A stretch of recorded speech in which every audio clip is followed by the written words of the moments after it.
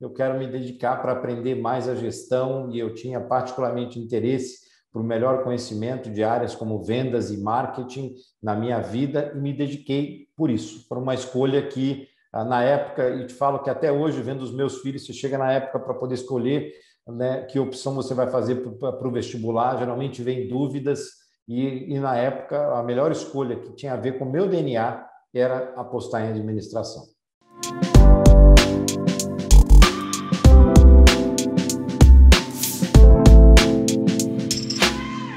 Começando mais um ADM.co e hoje a gente tem o prazer de receber o Ciro Gazola, que é CEO da Calói. Tudo bem, Ciro? Seja muito bem-vindo ao ADM.co. Tudo bem, sim. Obrigado. É um prazer estar aqui com vocês participando desse programa. Bom, para a gente começar o nosso bate-papo, eu gostaria de saber como é ser presidente de uma empresa centenária que faz parte da história afetiva do Brasil. Como é que começou a sua história com a Calói? Olha, para mim é uma grande honra, um prazer não só estar aqui com vocês, para falar também da história da Calói, da minha história. É, minha história, em particular, se iniciou há próximo de seis anos atrás. Eu tive toda a minha carreira até aqui trabalhando na indústria de bens de consumo, em grandes multinacionais, e uh, tive a oportunidade de me juntar ao que nós chamamos do time Calói, a família Calói, com a transição que houve com a compra da multinacional canadense Dorel, da empresa, que se iniciou no final de 2013, teve três anos de transição a, a, da empresa e em 2016 eu assumi no final de 2016 para transformar totalmente em um braço da multinacional, mas a empresa começa muito antes disso. Nós estamos, a empresa está entre, vai completar daqui a alguns meses 124 anos de história. Imagina que ela faz parte de, da história do Brasil, da história da indústria que começou ah, como exemplo na década de 40 em São Paulo, depois na década de 70 em Manaus, mas nós fazemos parte da história né, dos filhos dos, ah, ah dos pais, dos avós, dos eh, tataravós. Existe uma história muito bacana, não só né, com os consumidores, mas também com lojistas. Então, para mim é uma honra e ter conseguido dar continuidade. Nós temos, graças a Deus, acelerado não só a estratégia da empresa, mas a contínua conexão com os nossos consumidores e para ser fiel uh, ao, ao propósito da empresa, eu falo disso no nosso bate-papo. Bom, por falar em história, né, como você mesmo já nos trouxe esse ano, completando 124 anos, e uma história que passou por várias transformações e a gente está vivendo um momento muito importante que é essa transformação do mercado, né? Vindo aí pelo avanço tecnológico. A gente tem visto um público, um consumidor com uma mentalidade um pouco diferente, algumas pessoas buscando uh, meios de transportes menos poluentes, as próprias crianças né, estão mais digitais, é, preferindo os brinquedos digitais do que a bola, a própria bicicleta, a boneca e muitas vezes até outras crianças né, preferem brincar sozinhas com os videogames, com os tablets. Como é que vocês aí na Calói estão lidando né, com essa mudança de perfil dos consumidores? Olha, o que eu posso dizer, a Calói sempre esteve muito próximo ao consumidor e sempre foi muito né, dentro da cultura da empresa estar próximo não só no pós-venda, mas também através do nosso saque, né, a resolução de necessidades de consumidores. E é incrível, nesses últimos dois anos, o que está acontecendo. A indústria já vinha Passou por anos de crise entre aquele período de 2015, 16, 17, depois estava se iniciando uma retomada, mas nos últimos dois anos, da metade, diríamos, de 2020, de 21 até agora, houve um boom ah, pela procura da bicicleta. Esse boom, é, tudo bem, foi global, mas o Brasil acompanhou em alguns segmentos, até lidera. Vou te dar exemplos, né? As pessoas estão com essa pandemia buscando, né, eh, não somente estar ligados a atividades de lazer, mas atividades que possam também promover interação com a família, o deslocamento, né, ao trabalho de uma forma mais limpa e eficiente. Então, hoje no Brasil, o Brasil se transformou nesses últimos anos no país da mountain bike, porque é uma bicicleta, tá? Mountain bike Aro 29 muito é, flexível que permite você usar em todo tipo de terreno, seja na cidade, no fim de semana, para passear, para o lazer, para esporte, mas também bicicletas né, urbanas e recreativas, um segmento que também tem crescido, o segmento, obviamente, de bicicletas infantis, o que nós vimos de crescimento, e infantis porque as crianças, ao invés de ficarem preocupadas com o seu iPad ou iPhone, está ligado né, a jogos, fazem isso, mas também estão usando a bicicleta para se divertir. E essa era uma questão que talvez fez parte da minha infância e eu vejo que nem sempre da, da infância atual. Essa pandemia ajudou também a trazer essa realidade e a exploração de novos segmentos. Nós estamos vendo o Brasil, pouco a pouco, ainda é pequeno, mas pouco a pouco adotar o uso de bicicletas elétricas e a nossa indústria e outras indústrias da nossa associação, que nós fazemos parte no Brasil da Abraciclo, que representa as indústrias da Zona Franca de Manaus, é, estamos investindo para desenvolver o segmento de e-bikes no Brasil também. Como é possível, uh, no caso da Caloi, falar com a tradição sem esquecer das, das, dos, das, dos, avanços tecnológicos. Por exemplo, a gente tem aqui, quando fala de Caloi, lembra do slogan, né? Não esqueça a minha Caloi.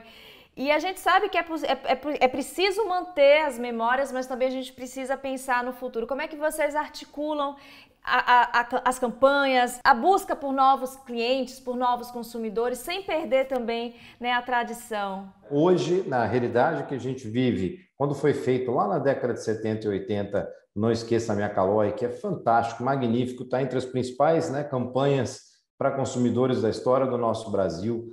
Ah, porém, a realidade, adaptar aquilo voltado só para crianças hoje, a forma de comunicação, já não se encaixaria mais. Existem até limitações de regras, como você pode se comunicar hoje, mas nós, nos últimos anos, atuamos para ter dois conceitos muito importantes. Um é o conceito interno do nosso propósito.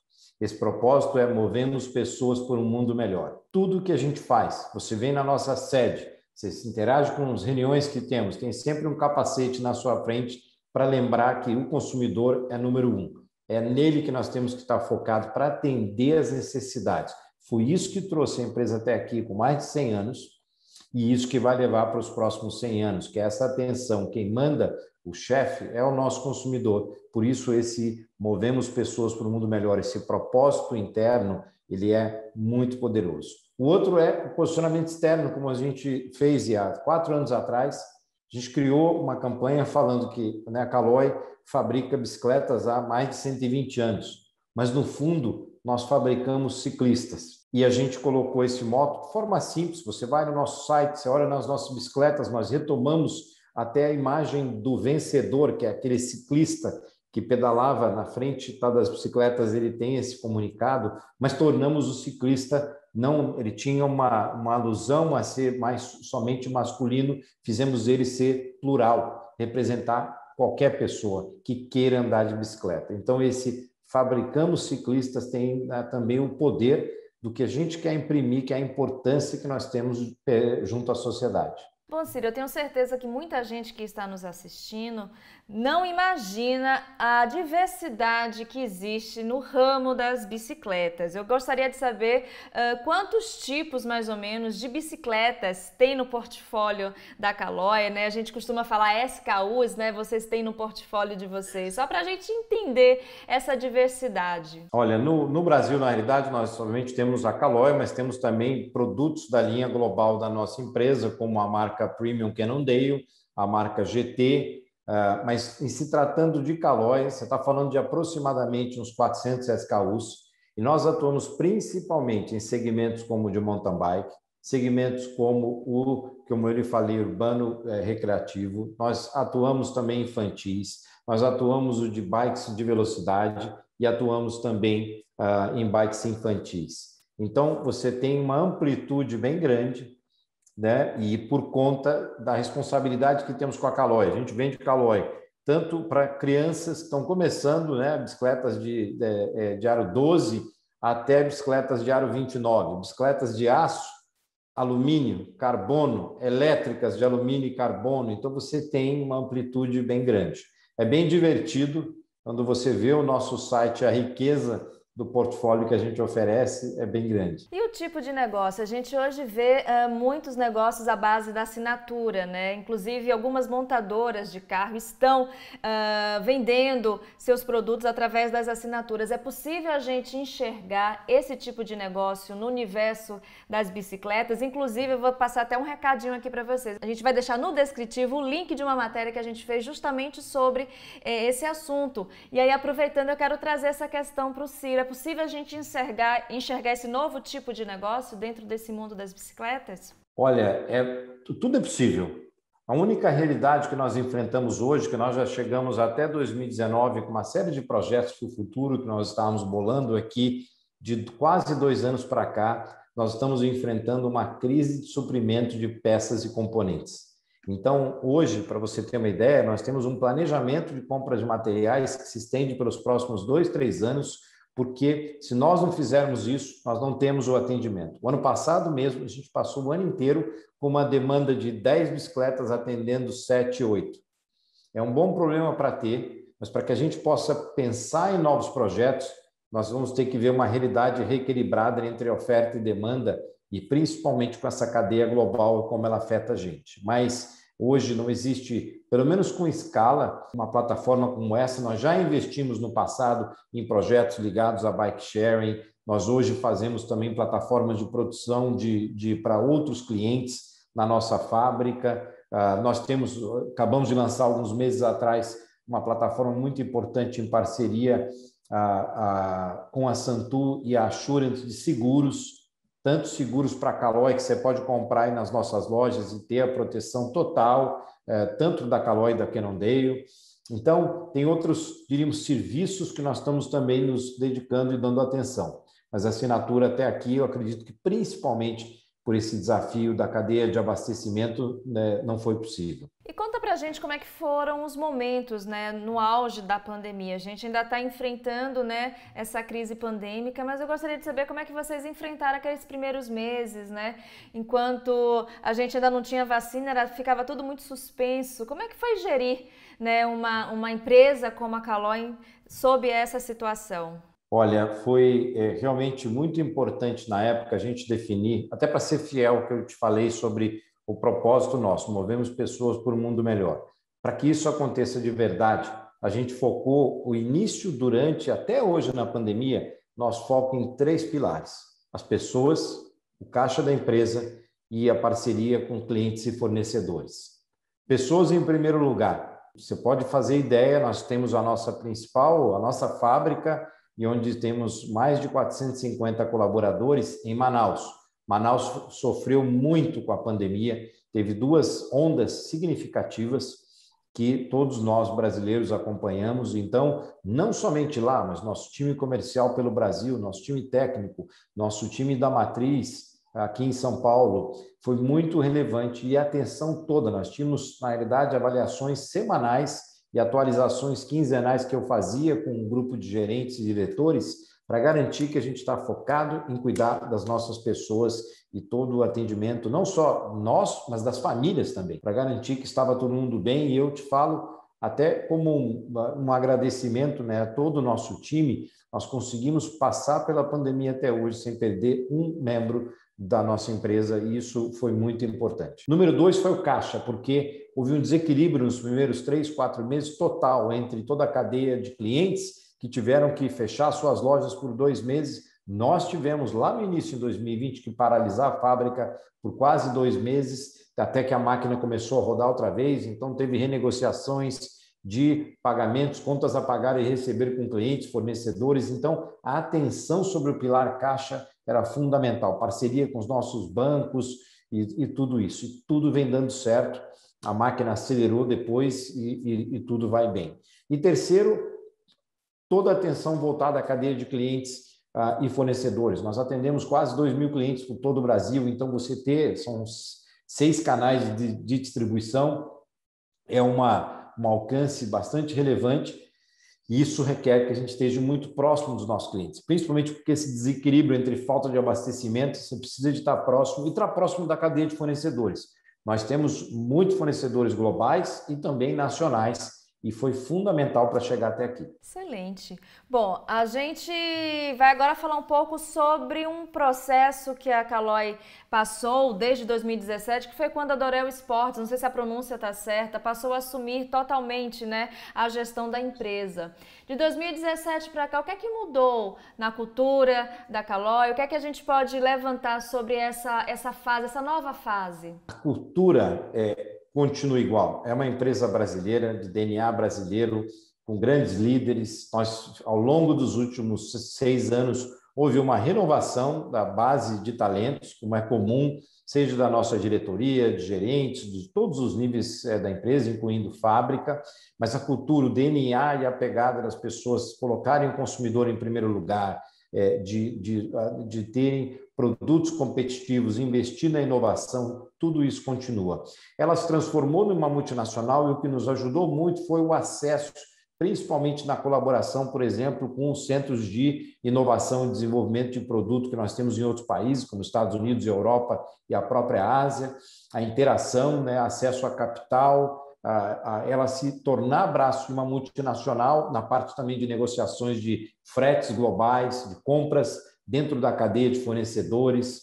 Então, tudo isso ajudou a empresa a poder se fortalecer como uma subsidiária da multinacional canadense. E mais recentemente, no final do ano passado, que muitos acompanharam, nós trocamos depois de, né, de, de braço, depois de uh, aproximadamente quase nove anos com o Grupo Dorel, para o maior grupo de mobilidade da Europa e hoje que formou com essa aquisição 14 marcas de, de bicicletas e o maior grupo, grupo global de bicicletas, que é, é a POM.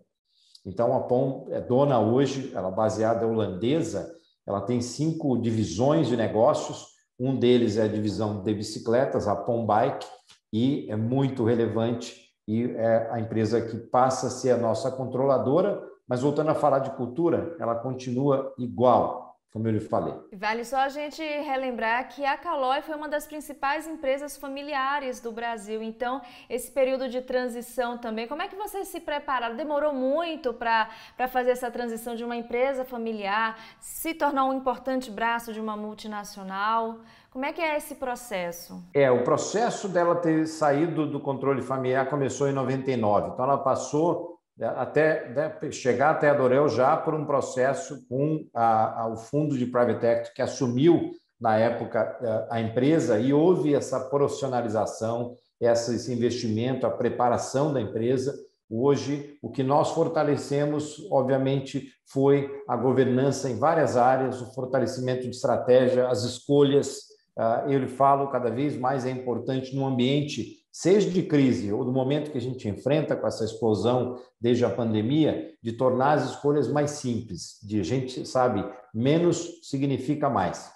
Isso a gente adotou nos últimos anos, ah, mas principalmente manter a cultura da empresa e, isso a gente tem sido fiel a isso também. Bom, Ciro, como você já nos falou, antes da Calói você passou por outras grandes empresas em importantes cargos, como a Mondelez, P&G, Philips América Latina, não é isso? Então eu gostaria de saber a que você atribui né, ter conseguido transitar por essas diferentes indústrias. Olha, primeiro é que está ligado é, a um ponto que tem a ver com eu, eu nasci e cresci num ambiente de ah, empresas familiares também. Minha família esteve ligada diretamente por mais de 50 anos a um grande grupo de empresas no ramo de transportes no Brasil.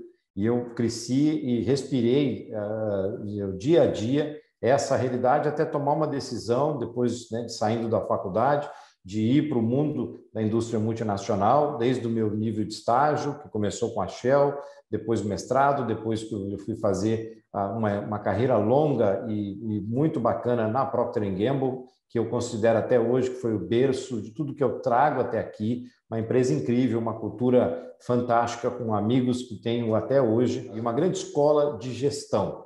E isso ah, que me ajudou não somente no período que eu passei pela Philips, na Mondelez ah, e na Caloi, do caso do Orel Sports, que agora é a Caloi controlada pelo grupo POM. Ah, mas eu posso lhe dizer que, e, e, também pelas experiências, né, não somente no Brasil, que eu tive nessa carreira que já são 32 para 33 anos, mas mais de 10 anos morando em quatro assignações diferentes fora do Brasil.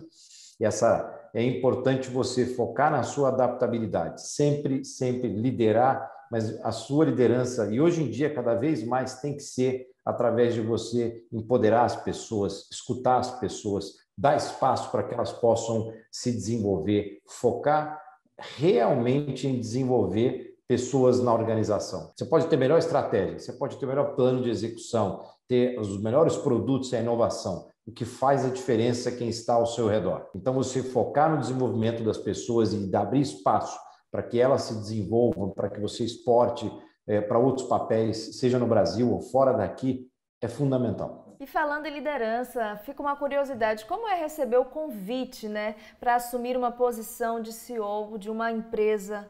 Uh, conta para a gente como é que foi esse momento, como é que você recebeu essa proposta? Olha, essa realidade de ser CEO de empresa começou em 2011, já tem aí uh, praticamente 11 anos, quando eu estava na realidade migrando, que foi para mim uma decisão difícil, sair da P&G depois de 21 anos, ah, e abraçar um novo desafio numa empresa não americana, holandesa, que foi a Philips. Então, eu acho que o, o, o importante não é somente a oportunidade, mas o que você faz com essa oportunidade. Como é que você vai se preparar para que consiga ter êxito, porque liderar uma empresa significa você lidar com as complexidades, seja da gestão da liderança global da empresa, do conselho de administração, dos seus pares, dos seus subordinados, de toda a organização que te vê todos os dias. A forma como você reage, sentar nessa cadeira de CEO significa realmente ter a responsabilidade, abraçar que você acaba se tornando a referência para tudo que está à sua volta.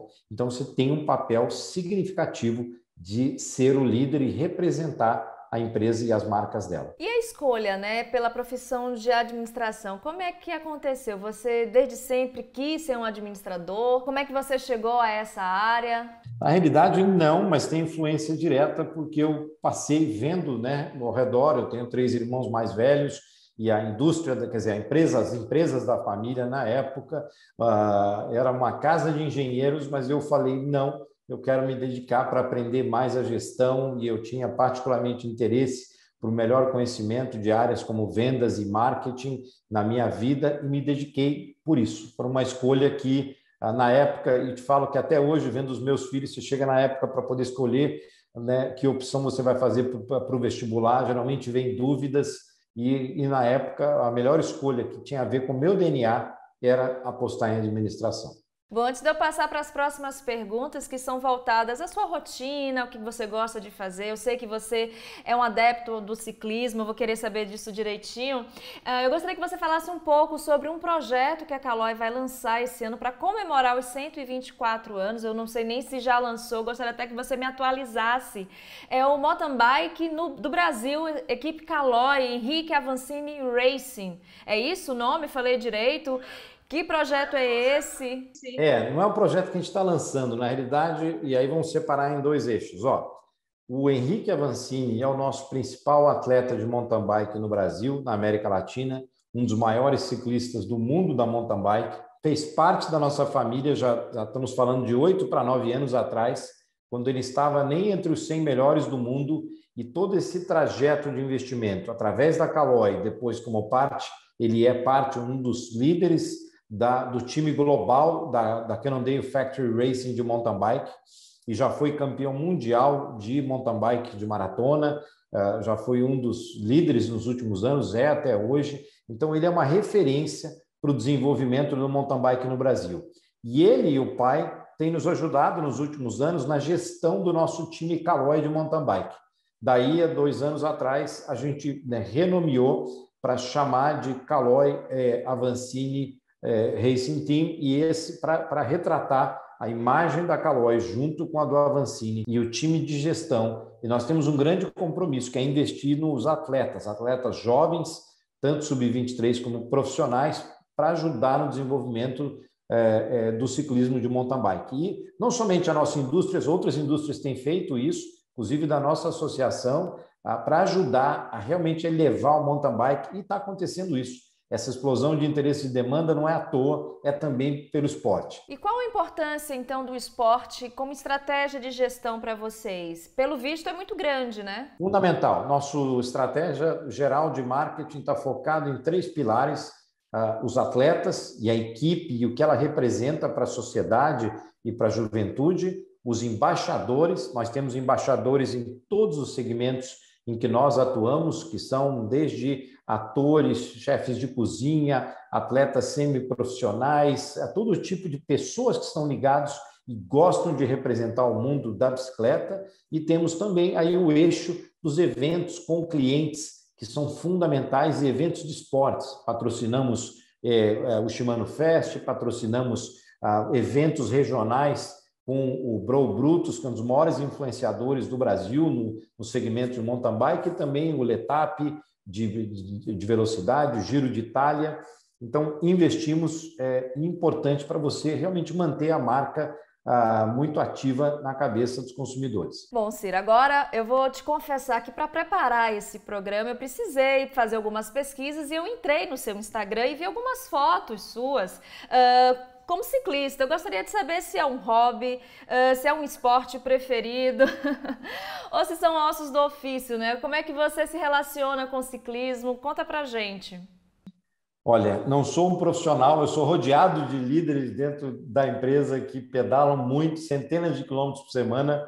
Eu geralmente me dedico, eu faço ginástica durante a semana, mas me dedico a pedalar aos sábados e domingos principalmente, mas é por prazer, gosto, gosto de pedalar, tem aqui dentro, meu escritório tem umas quatro bicicletas aqui, analógicas e elétricas, e é muito gostoso, você realmente, eu acabo sendo também um dos que testam as bicicletas novas que a gente vai lançar, né, e todas as plataformas que a gente quer trazer ao mercado, uh, mas é um prazer, e quando viajo, também para poder visitar clientes ou fornecedores, eu sempre tento motivar para estar pedalando com o time, porque, sabe, faz bem para a saúde, é bacana. Eu já desde uh, criança pedalava, uh, obviamente com essa história de viajar para outros países, teve momentos que eu pedalei menos, mas hoje em dia me dá um prazer ainda maior de tornar, né, de agregar uh, uh, o pedal como parte da vida. Mesmo antes de fazer parte da Calói, você já tinha esse gosto pelo ciclismo? Você já curtia? Se você procurar, já que você falou do Instagram, se você procurar lá atrás, no momento que eu morava na Ásia, é, eu já pedalava lá nos fins de semana. Bacana. Eu pedalava sábado e domingo direto de velocidade, capacete, roupa e tudo.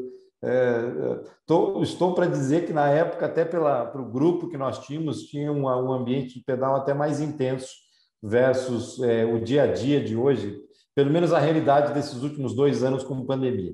Bacana, bacana. E como é que é a sua rotina de trabalho, né? A gente quando fala uh, que vai entrevistar um CEO, as pessoas ficam muito curiosas, né? Imaginam que a pessoa já acorda trabalhando, vai dormir trabalhando. Como é que é seu dia a dia? É de, é de fato essa rotina pesada? Olha, não é rotina pesada, é rotina que eu acredito que é uma questão até de é, educação pessoal e foco nas coisas que são mais importantes. Sim, você liderar uma empresa é, eu acabo estando disponível 24/7, é, é, mas não necessariamente estou dedicado. Se eu estou hoje até nós estamos no momento que ainda não reabrimos totalmente o escritório, então estamos fazendo de forma facultativa dois dias por semana no, no escritório, três dias de home office. Eu recentemente recomecei as viagens. Eu passo muito do meu tempo também viajando, interagindo com clientes e fornecedores.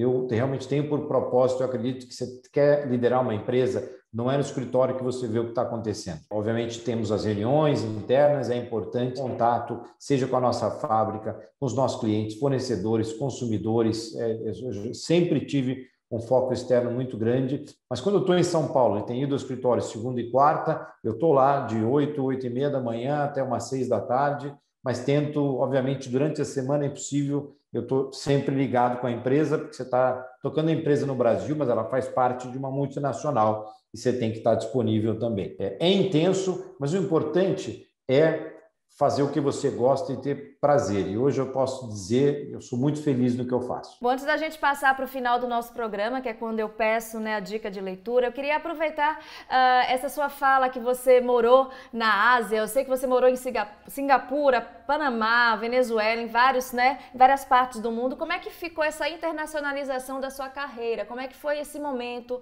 Que experiência foi essa liderar em culturas diferentes? O que é que você traz desse momento, né? Para você implantar hoje aqui no Brasil? Olha, foi um período, principalmente durante eh, os meus, como eu lhe falei, 21 anos na P&G. A P&G era uma empresa fantástica que sempre dava oportunidades para você se desenvolver, seja no próprio país ou em outras regiões e culturas. Para mim, foi parte crucial do líder que eu sou hoje, ah, como CEO ah, da empresa, reconhecendo principalmente a importância de você se adaptar às realidades que te aparecem. Para você ter êxito, imagina chegar numa Ásia. Eu trabalhava com uma equipe que era de, de 10 países distintos. E você poder criar uma união nesse time requer realmente muito foco em escutar, em dar espaço para que as pessoas possam trazer as suas necessidades, você desafiar, você ser assertivo nas prioridades que elas têm que fazer e executar. Então, tem uma, uma série de pilares que são fundamentais, mas para mim o maior é, ter, é você ter uma adaptabilidade na cultura onde você vai estar. Você tem que realmente, não tente levar, eu diria que o Brasil para os Estados Unidos, onde eu morei também, ou para a Ásia. Quando chega lá, entenda o que é a realidade cultural daquela região e aprenda, né? se adapte. É meio que ser quase que um camaleão nessa realidade para onde uh, você vai.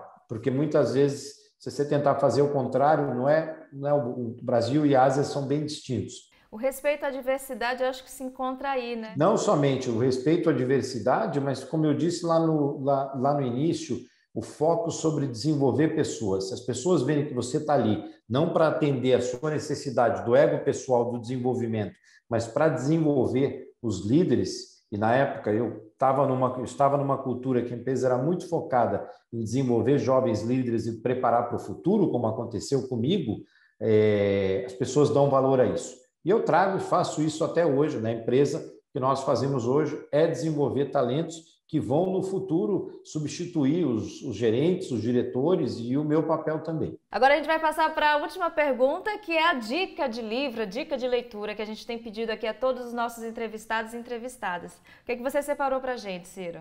Olha, eu separei aqui, ó, é uma que eu ganhei da minha diretora de RH jurídico, que é um livro sobre as grandes estratégias no mundo, tá? Vocês podem gravar aqui, é um livro bem interessante ah, que fala sobre essa realidade, o que, que você pode aprender desde Sun Tzu, Franklin Roosevelt e outros grandes líderes que mudaram o mundo de uma forma positiva.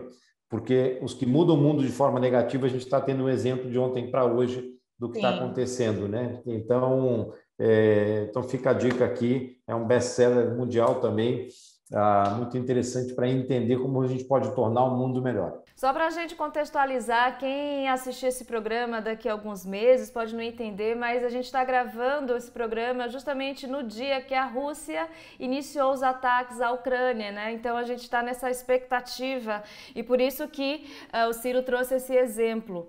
Então, Ciro, eu quero aqui é, te agradecer muitíssimo, né? Infelizmente a gente está encerrando o nosso programa. Eu quero te agradecer muito por você estar tá aqui no ADM.co, trazendo um pouco sobre né, a sua vivência na Calói, a sua experiência como administrador, como líder. O Ciro, que é administrador registrado aqui no CRA São Paulo, então a gente sempre ressalva isso, ressalta isso, porque a gente tem convidado administradores e administradoras que são registrados e registradas não só aqui no nosso Conselho de São Paulo, mas nos de outros estados também. Então fica aqui o meu agradecimento. Não, muito obrigado. Quero agradecer ao CRA São Paulo e todo o apoio para podermos fazer esse programa é, dar certo e espero que seja realmente produtivo para todos que forem assistir no futuro. Bom, mais uma vez obrigada. E obrigada a vocês que ficaram conosco em mais uma edição do ADM.co. Espero que vocês tenham gostado do nosso programa. Escrevam aqui nos comentários o que vocês acharam, sugiram nomes, assuntos para os nossos programas aqui do canal a serviço da administração. Até o próximo ADM.co.